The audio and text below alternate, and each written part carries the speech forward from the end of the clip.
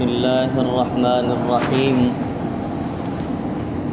عن أبي هريرة رضي الله تعالى عنه أن رجلا كان يأكل اكلا كثيرا فأسلم وكان يأكل قليلا فذكر ذلك للنبي صلى الله عليه وسلم فقال إن المؤمن يأكل في مع واحد والكافر يأكل في سبعة أمعاء.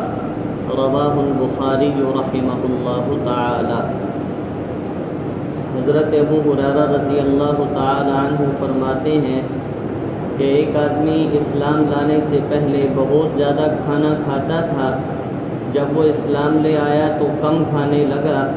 اس بات کا ذکر حضور نبی مکرم صلی اللہ علیہ وسلم کے سامنے کیا گیا۔ تو آپ علیہ صلاۃ وسلام نے ارشاد فرمایا کہ مومن آدمی ایک آنت میں کھاتا ہے اور کافر آدمی سات آنتوں میں کھاتا ہے۔ اس روایت کو امام بخاری رحمہ اللہ نے نقل فرمایا ہے۔ یہ مختصر سی روایت جو آپ حضرات نے جس کا متن اور ترجمہ سنا، اس روایت میں ایک چھوٹا سا واقعہ بیان کر کے مومن آدمی کی قناعت اور کافر کا حرص اور لالچ بیان کیا گیا۔ حضرت ابو حریرہ رضی اللہ تعالی عنہ فرماتے ہیں کہ ایک آدمی مسلمان ہوا، لیکن مسلمان ہونے سے پہلے وہ بہت زیادہ کھانا کھاتا تھا۔ جب مسلمان ہو گیا تو اس کی بھوک کم ہو گئی، وہ کم کھانا کھانے لگا۔ تو لوگوں نے اس بات کا ذکر اللہ کے نبی صلی اللہ علیہ وسلم کے سامنے کیا کہ یا رسول اللہ، اس کی وجہ کیا ہو سکتی ہے؟ یہ کیا ماجرا ہے کہ وہی آدمی، اس کا وہی میدا، وہی پیٹ، وہی جسامت؟ لیکن اسلام لانے سے قبل وہ آدمی زیادہ کھانا کھاتا تھا، لیکن جب مسلمان ہوا تو مسلمان ہونے کے بعد وہ تھوڑا کھانا کھانے لگ گیا۔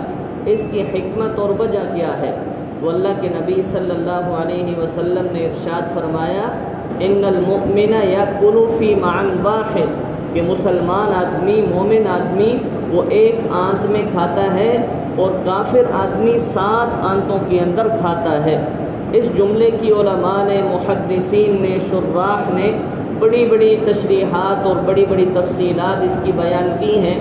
لیکن ان میں جو سب سے بہتر تشریح اس کی بیان کی گئی وہ یہ ہے کہ اس حدیث مبارکہ میں اللہ کے نبی صلی اللہ علیہ وسلم نے در حقیقت اس بات کی طرف اشارہ کیا ہے کہ مومن آدمی جب کھانا کھاتا ہے تو اس کے اندر لالچ نہیں ہوتا، اس میں حرص نہیں ہوتی، اس میں تما نہیں ہوتی، وہ جلد بازی نہیں کرتا۔ وہ جب کھانا کھاتا ہے تو کھانا کھانے سے پہلے اللہ کا نام لیتا ہے اور جس کھانے پر اللہ کا نام لے لیا جائے تو شیطان اس کھانے میں کبھی شرکت نہیں کر سکتا۔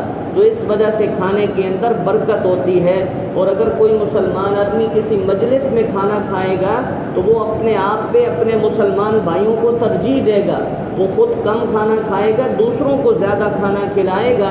تو یہ ساری کی ساری جو چیزیں ہیں، یہ ایسی ہیں۔ ان کی وجہ سے اللہ پروردگار عالم کھانے میں برکت پیدا کر دیتے ہیں اور کافر آدمی وہ اس کے بالمقابل، اس کے اندر لالچ بھی ہے، اس کے اندر حرس بھی ہے، اس کے اندر تما بھی ہے، اس نے کھانا کھاتے ہوئے اللہ کا نام بھی نہیں لیا، بسم اللہ بھی نہیں پڑھی، جس وجہ سے شیطان بھی اس کے ساتھ کھانے میں شریک ہے اور شیطان کی شراکت کی وجہ سے حرس اور لالت کی وجہ سے یہ ایسی چیزیں ہیں جن کی وجہ سے اللہ پروردگار عالم کھانے کی برکت کو کھینچ لیتے ہیں، ختم کر دیتے ہیں۔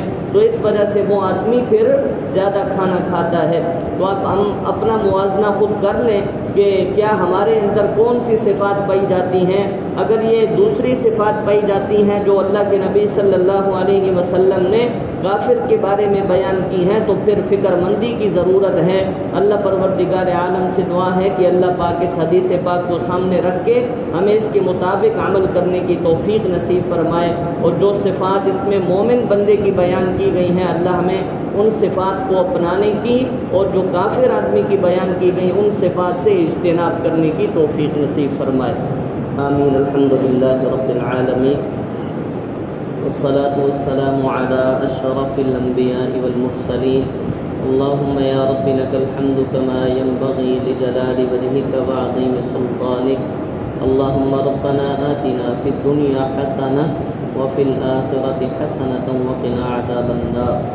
اللهم أحسن عاقبتنا في الأمور كلها وأجرنا من خزي الدنيا وعذاب الآخرة.